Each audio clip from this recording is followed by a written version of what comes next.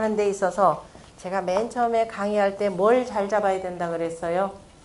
방향을 잘 잡아야 되는 거죠. 방향을 잘 잡고 가는 것이 굉장히 중요합니다. 그런데 우리가 그동안 공부하는 것, 더군다나 화문명권의 공부, 한글을 공부하고 우리말을 공부하고 특히도 이 뜻글자를 공부하는데 전부 다 뭐냐 방향을 잘못 잡아서 간 거예요. 방향을 어떻게 잡았느냐?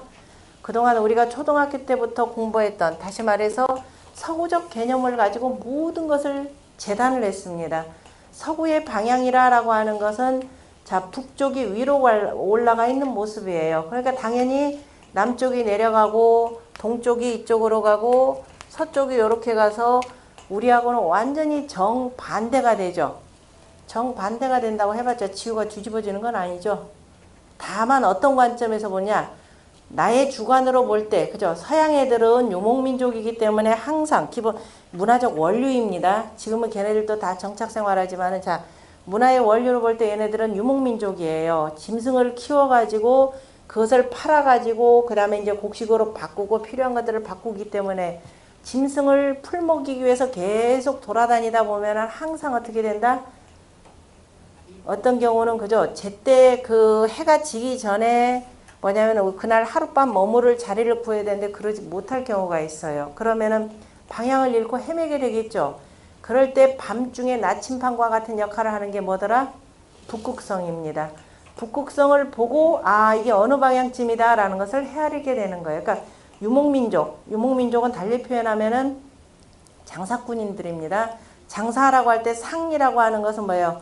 움직이면서 돌아다니면서 파는 사람들입니다. 이 상인들은 기본적으로 늘 밤에 길을 잃고 헤맬 수가 있어요. 그럴 때 자기의 나침반 역할이 되주는 바로 북극성을 가장 중요시 여깁니다. 그래서 북극성을 기준으로 여기고 우리가 중요시 여기는 것, 그 다음에 이 하는 것들을 항상 어디다 둬요? 내 머리 위로 두는 거죠. 그 얘네들은 북극성 위쪽으로 갑니다. 이런 방식으로 해서 모든 문화가 형성이 돼요. 그런데 우리는 무슨 문화냐? 농경 문화입니다. 농경 문화는 앉아서 농사 짓고 살아요. 그죠? 그 땅에다 열심히 농작하고 그 대신에 뭐가 거기서 잘 줘야 되나? 하느님이. 저 하늘이, 그죠?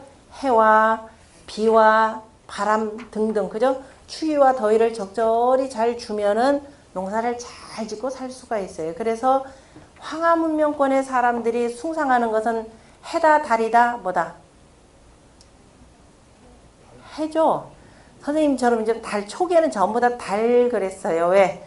지금 우리가 쓰는 달력이 머릿속에는 이게 작동됩니다. 여러분들이 알게 모르게 있죠. 이미 사고 것들이 너무 많이 스며들어가지고 자기 게 뭔지를 몰라요. 서구에 서양 애들이 양력 쓰고 우리는 음력 쓴다 그러죠. 자, 이제 웬만큼 다 이제 이해를 하셔서 자, 음력이라고 하는 것은 자, 양력을 쓰려면은 국가가 달력 다 줘야 된다 그랬죠.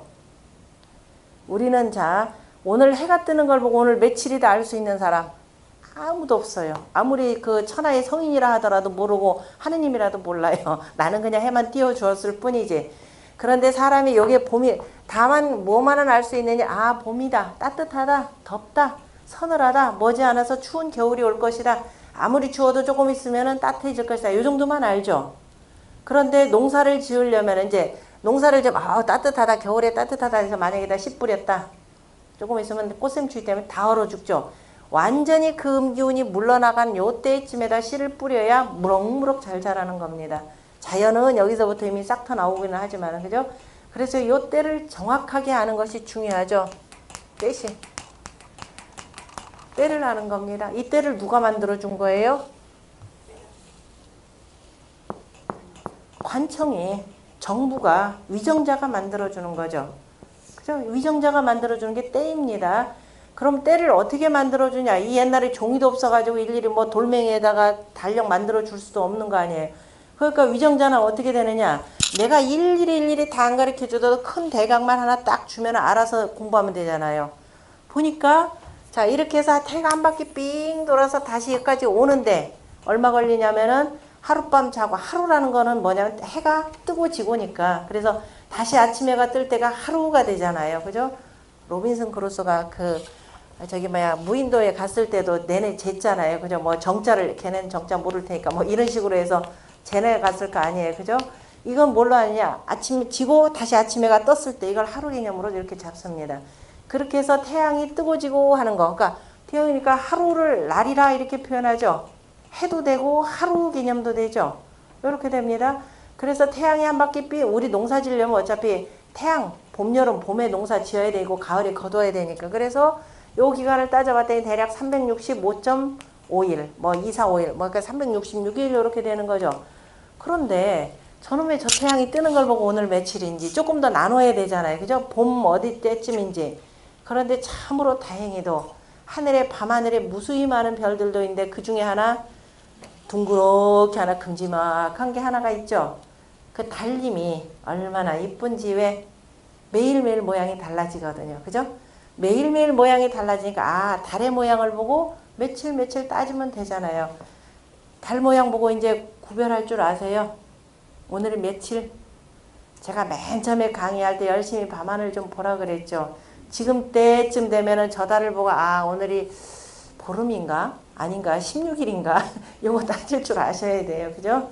항상 이렇게 체크해 보세요. 그러니까 다다음 주 정도 되면은 뭐 추석이 되니까 오늘 달 모양이 어떻게 될 것인지 초생달은 어디에서 어디쯤에 볼 수 있을 것인지 금음달은 과연 내가 볼 수 있는지 없는지 쭉 체크하라 그랬습니다. 그래서 세상에 좋은 것이 뭐냐면은 며칠 할 때 보니까 달만 쓰면 된다 그랬죠. 그래서 우리가 쓰는 책력을 뭐라고 하느냐?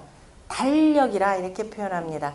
그걸 옛날에 종이에다 기록하니까 종이에다 기록한 역이다 그래서 묶어서 기록했으니까 책력이 되잖아요. 그죠? 책력이 되고 만세력이 되고 뭐 천세력이 되고 하는 건데 그거 뭐냐? 원력이죠. 달력이. 달력이 원력이에요. 매일매일 달만 보면 어 며칠 며칠 며칠 나눠주고 그리고 다, 태양이 한 바퀴 삥 돌아서 봄 할 때 달이 이 동안에 몇 번 차고 지더라? 12번이잖아요. 그러니까 12달을 줬잖아요. 그죠? 이거 그냥 둔 게 아니라 그랬죠. 천간 12주도 그냥이라는 게 세상에 없다 그랬습니다. 12달 만들어 놓고 그리고 한 바퀴 달이 그럼 요서 이렇게 한 바퀴 삥 동안 돌 동안에 12달 해 놓았더니 며칠 걸리더냐면은 문제는 이제 여기서 문제가 되는 거죠. 354일 정도가 걸리는 겁니다. 그러면은 달력을 만들어 놓고 1년이면 며칠 차이가 나요? 12일 차이가 나니까 3년마다 한 번씩 윤달 두고 5년에 두 번, 8년에 세 번, 19년에 일곱 번의 달을 더 집어넣는 거죠. 그것이 뭐, 뭐더라? 그것이 윤달이죠. 임금도 그때는 뭐 못하니까 새롭게 하나 생겼다고 임금이 뭐 어쩌지도 못하잖아요. 그죠? 그래서 문을 다 닫았고 이 근신하는 기간이 바로 윤달이 됩니다. 보통 사람들한테는 윤달은 뭐예요? 웬 꽁꼴로 하나 생겼느냐. 그래서 불어날 윤자가 되죠. 이렇게 쓰면은 그 윤택하다. 이때 뭐 이것저것 할 수가 있는 때가 되는 겁니다. 그래서 자 원력이 되는데 달력이 되는데 사람들이 달력 개념 때문에 자 황하문명권은 뭘 중시한다? 달을 중시한다 라고 말씀하시는데 정말 천만의 말씀 만만의 콩떡입니다. 절대적으로 뭐냐 달 체, 태양력이에요. 이게 서경이라고 하는 책에 우리가 삼경이라고 하는 책 가운데 두 번째 바로 서경의 맨 앞머리에 요임금이 바로 천하를 다스릴 때 제일 먼저 한 얘기가 바로 이겁니다. 태양은 그죠? 366일이고 366일에 거기다가 윤달을 한 번씩 두어서 이렇게 나옵니다. 그 내용이에요. 그러니까 달력이 되고 어. 그래서 방향이다 라고 할 때 우리는 기본적으로 뭐가 위로 가느냐면은 해 그죠? 여기가 남쪽이 돼야 됩니다. 이게 뭐 이게 남쪽이죠. 남쪽이라고 하는 건 1부터 10까지 다 베풀어진 거죠. 그 두루두루 양기운이 세상을 다 뒤덮고 있는 것. 10간이라는 뜻이에요. 바로 여기에 맨 꼭대기. 그러니까 우리는 남향에 황야문명권은 남향을 기준으로 해서 모든 것을 재는 겁니다. 됐죠? 그런데도 여전히 이것도 물어보면 또 헷갈려요. 우리는 절대적으로 남향이 되고 남향이 되니까 자연스럽게 어떻게 된다? 아래쪽은 북쪽이 되죠. 사람이 등지는 쪽이죠. 사람이 서로 등을 돌리고 있는 형태잖아요. 그죠? 아까 사람이 등 돌리고 등질 빼자가 되고 이렇게 되니까 남북 축이 딱 쓰죠. 우리는 북남이 아니라 남북입니다. 그리고 서부 동서가 되는 거죠. 자, 동쪽이 오른쪽이 어, 왼쪽이 되고 서쪽이 오른쪽이 되는 겁니다. 이거 모르니까 맨날 좌동우서인데 무슨 좌동우서예요? 이거 보고 다 틀렸잖아요. 이렇게 되잖아요. 이런 엉터리가 어디 이것도 뭐냐면 결국은 내 기준으로 해서 보는 거잖아요. 얘네들 기준으로 보는 거고 우리는 이렇게 봐야 모든 것이 참 편해집니다. 그러니까 좌동 우서, 홍동 백서 이렇게 돼요. 나를 기준으로 해서 모든 건 그죠? 내가 이렇게 보니까 나의 왼쪽 오른쪽 이렇게 보는 거예요. 남 기준 아니에요. 다 내 기준이고 이게 바로 황화문명권의 방향의 표시입니다. 이 방향을 잘못 세워놓고 웬 서구적 교육을 배워놓고 나중에 공부 좀 웬만큼 한 사람들이 가만히 보니까 뭐 서구에 서, 뭐 미국으로 영국으로 어디로 해서 그 유학을 가더라도 애들이 물어보거든요. 야, 너네 그 뭐냐 물어보면은 아 대답하기 깝깝하잖아요. 그래서 이제 공부를 해요. 해놓고 뭐 하다가 보니까 뭐 다 틀리잖아요. 그죠? 그러니까 뭐다? 동양은 뭐다? 미개하다. 무지하다. 그죠? 엉터리다. 이렇게 돼버려요. 자기들이 엉터리인 줄은 몰라요. 자기가 기준점이라는 게 달라서 생기는 문제를 전혀 모르고 엉뚱한 방식으로 자신의 무지함은 모르고 엉뚱한 방식으로 해결을 합니다. 분명히 두 개는 다릅니다. 다르지만 결과적으로 다 같은 거죠. 요거 그대로 뒤집으면 요 문제가 되고 다만 황하문명권의 오랜 유구한 정말 이 수만 년의 역사를 제대로 이렇게 이해를 하시려면 황하문명권의 역사는 이렇게 보셔야만 됩니다. 모든 뜻글자 해석하는 거 역시 뜻글자 모양을 보더라도 요걸 가지고 해야 돼요. 여기 아니면은 뒤집혀진 모양 가지고는 전부 다 반대가 돼요. 사람들이 전부 다 반대가 되면은 자기하고 다르다 해가지고 다르다는 걸 뭐라고 그래요? 틀렸다라고 하는 건데 다른 거하고 틀린 거는 다르죠. 다르다라고 글자 잘 보세요. 공통점이죠. 중앙 이건 다 똑같아요. 서구에 이것도 가운데 역시 다 똑같죠. 다만 어떤 기준점을 이렇게 보느냐입니다. 이것만 잘 세워두시면은 하등 문제 될 게 없습니다. 그러니까 공부를 여기까지 하셨다 그러면은 이 두 개를 자유자재로 갖고 놀면서 그래 너네는 그렇게 봤니? 우리는 이렇게 이렇게 하더란다. 그리고 장사하는 사람들과 오랜 세월 그 자리에 앉아가지고 이 농사를 짓던 사람들 가운데에서 자 철학이 누가 더 발달하겠어요? 철학이 동양 쉽다 그랬죠. 이거 자 아메바 우리가 보자면은 요즘 현대화 그러면 아메바형이잖아요. 아메바. 아메바라고 하는 것은 생명의 씨앗이죠. 세포, 단세포 동물의 씨앗입니다. 이렇게 해서 양의 씨앗, 이렇게 보면 음의 씨앗이 되는 거죠. 요 모양을 또 어디다 썼느냐? 신라시대 때 왕관에서 썼다 그랬습니다. 왕관에다 구멍 하나 딱 뚫어서 했죠. 이걸 뭐라고 하냐? 그냥 모르는 사람들은 고곡 그래요. 그죠? 만약 왜냐면 옥을 구부리게 해서 만드는 장식이니까. 고곡이 뭐냐라고 물어봐야죠. 그죠? 아, 누가 눈이 있으면 다 봐요. 다 보는 걸 나도 보고 뭐라고 얘기한다고 아는 게 아니잖아요. 안다라고 하는 것은 숨겨져 있는 것을 아는 것. 우리가 인의 이의 지라고 할 때 지가 어디에 해당되느냐면은 북방에 해당되잖아요. 하루로 얘기하자면 깜깜한 거죠. 겨울이죠. 겨울에 뭐가 보이나요? 깜깜한 데 뭐가 보이나요? 안 보이는 것 속에서 안 보이는 것 속에서 뭐가 작동되는 원리를 아는 것이 그게 아는 거죠. 남들 다 보고 나도 알아. 남들 보는 거 가지고 보는 게 그게 아는 게 아닙니다. 그러니까 지라고 하는 것은 이 속에 담겨 있는 이치를 헤아릴 줄 아는 것. 그게 이게 되고 그래서 고곡이라라고 하는 것 자체는 뭐라 바라보냐면 생명의 씨앗이 되죠. 그리고 기본적으로 이런 모양으로 걸리죠. 그러니까 뭐냐면 양태극이라 할 수가 있죠. 생명이 나서 자라는 것. 이 신라시대 왕관에 또 요것뿐이던가요? 요거 매달려 있는 왕관의 모양이 뭐예요?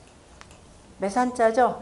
매산자 형태로 쭉 돼 있죠. 그게 바로 뭐예요? 동북 간방이죠. 동북 간이라라고 하는 것이 바로 양기운이 싹 터서 만물을 무럭무럭 자라게 하는 것. 그럼 신라 시대 임금님의 그 왕관이 이런 모양이라라고 하는 것은 내가 왕으로서 뭐를 가장 우선으로 삼겠다? 백성들을 기르는 정치. 이렇게까지 나와야죠. 이래야 신라 시대 이 왕조의 그 의미가 이렇게 부각되는 거지 뭐 신라시대 뭐, 뭐 문화가 뭐 화려하다 어쩌다. 그건 누구나 다 보는 겁니다. 보이지 않, 이미 눈에 다 보였는데도 그러니까 모르니까 안 보이는 걸 뿐이죠. 그러니까 신라시대 임금의 그 왕관 속에는 이미 무슨 정치 사상이 담겨져 있다? 애민 정치, 위민정치, 양민. 달리 표현하면은 어진 정치의 의미가 담겨져 있다. 다시 말해서 황하 문명권의 가장 핵심 사상이 담겨져 있는 왕관. 이렇게 쓰면 얼마나 좋겠습니까?